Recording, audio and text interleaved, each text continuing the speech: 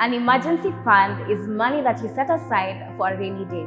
It helps you take care of your financial emergencies without disrupting your investments.